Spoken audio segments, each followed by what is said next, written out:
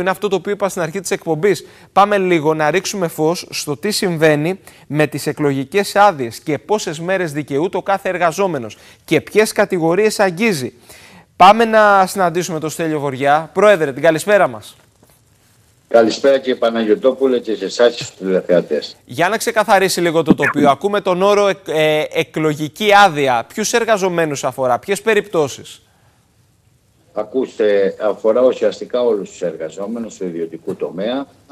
Σύμφωνα με την Υπουργική Απόφαση που εκδόθηκε στις 6 Πέμπτου του 2023, χωρίζονται σε δύο κατηγορίες οι εργαζόμενοι, σε αυτοί που δουλεύουν επερθήμερα, ε, ε, οπότε για αυτούς ισχύει ότι για την άσκηση του εκλογικού τους δικαιώματος δικαιούνται μία ημέρα. Αν χρειάζεται να διανύσουν μια απόσταση μεταξύ των 200 έως 400 χιλιόμετρων, δύο μέρες εργασίες για πάνω από 401 χιλιόμετρα ε, και τρεις ημέρες άδεια αν βρίσκονται σε νησιά που ανάλογα τα δρομολόγια και τις αποστάσεις κατά περίπτωση ε, δικαιούνται αυτή την επιπλέον μία ημέρα.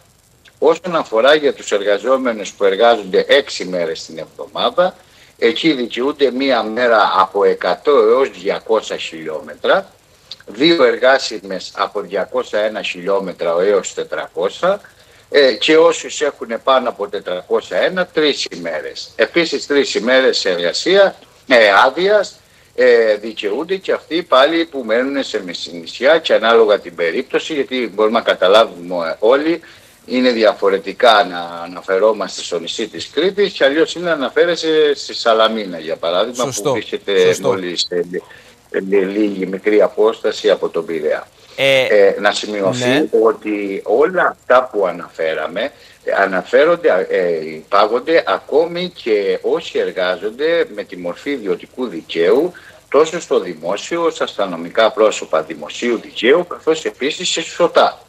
Μάλιστα. Υπάρχουν και κάποιες... Ε, ναι. ναι, ναι.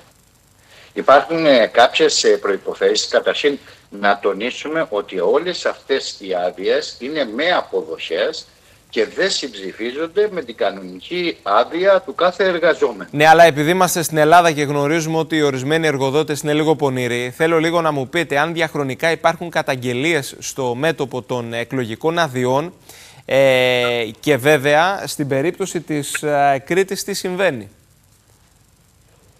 Κοιτάξτε, εδώ πέρα για τα βασικά πράγματα έχουμε καταγγελίες. Ε, εννοείται πως ε, θα μας φτάσουν πολύ αργότερα παράπονα από και για αυτές τις περιπτώσεις.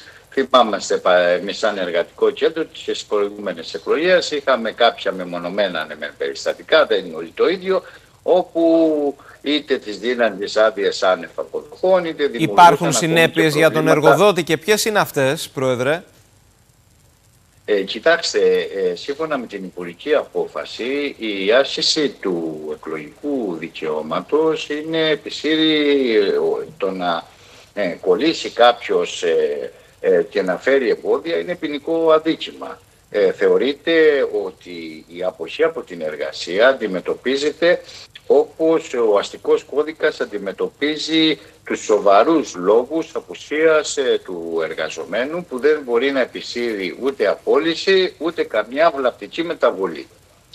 Θέλω όμως να επισημάνω και κάποια άλλα πράγματα, εκτός του ότι δεν συμψηφίζεται η παραπάνω άδεια από τυχόν είτε αποδοχές ή ημέρες τις κανονικές ε, άδειες, θα θεωρηθεί ως επιπλέον ημέρα και για αυτούς που τυχάνει να εργάζονται και την Κυριακή. Ξέρετε πολύ καλά ότι υπάρχουν και εργαζόμενοι που εργάζονται και τις Κυριακές. Παραδείγματος χάρη στον επιστημισμό, στα ξενοδοχεία, και μια σειρά επιχειρήσεων που ιδιαίτερα στον τουριστικό κλάδο το συναντούμε. Εκεί θα ε, μετρήσει επιπλέον και η μέρα ε, άσκησης του εκλογικού δικαιώματος, δηλαδή συγκεκριμένη Κυριακή 21 του, του Μαΐου. Ε, ε, επίσης, ε, όπως είπα πριν, η ύπαρξη σπουδαίου λόγου αποχής από την εργασία λόγω κλήσης και συμμεταχής του εργαζομένου σε εφορευτική επιτροπή. Ναι, πολύ σημαντικό Διαφέρει, δηλαδή και αυτό ε, εννοείται ότι ε, είναι και καθήκον του κάθε πολίτη, του κάθε εργαζόμενου από τη στιγμή που θα κληθεί να συμμετέχει ως εφορευτική επιτροπή να παρουσιαστεί και επίσης αυτή η συγκεκριμένη μέρα δεν λογείται το να απουσιάσει ή κάποιος εργοδότης να φέρει εμπόδια έτσι ώστε να μην προσέλθει ο συγκεκριμένος εργαζόμενος. Πρόεδρε, ευχαριστούμε. Αυτή ήταν η υπουργική απόφαση και η ενημέρωση όσον αφορά. Ευχαριστούμε πολύ. Θα τα ξαναπούμε για τυχόν αν υπάρχουν και καταγγελίες μετεκλογικά. Εδώ είμαστε λοιπόν. Να είστε καλά, καλό απόγευμα. Πάμε λίγο να δούμε κάποια στοιχεία που αφορούν την εκλογική αναμέτρηση σε επίπεδο περιφέρειας Κρήτης. Ε, για να τα βάλουμε λίγο σε μία σειρά και αμέσως μετά θα πάμε πάνω στην Ξάνθη να συναντήσουμε τους ε, φοιτητές, τους κριτικούς φοιτητές. Λοιπόν, η εκλογή στην Κρήτη, ε, οι εκλογές στην Κρήτη, 543.908, 1.306 τα τμήματα, 1.294 για βασικούς εκλογείς και 12 για ετεροδημότες και συμμετέχουν 31 συνδυασμοί. Περιφερειακή Ενότητα Ηρακλείου. Βλέπουμε αναλυτικά πώς είναι οι εκλογέ, ποια τα εκλογικά τμήματα. Για παράδειγμα, στο Ηράκλειο, 258.729 εκλογέ. 575 εκλογικά τμήματα για βασικούς και 6 για ετεροδημότες.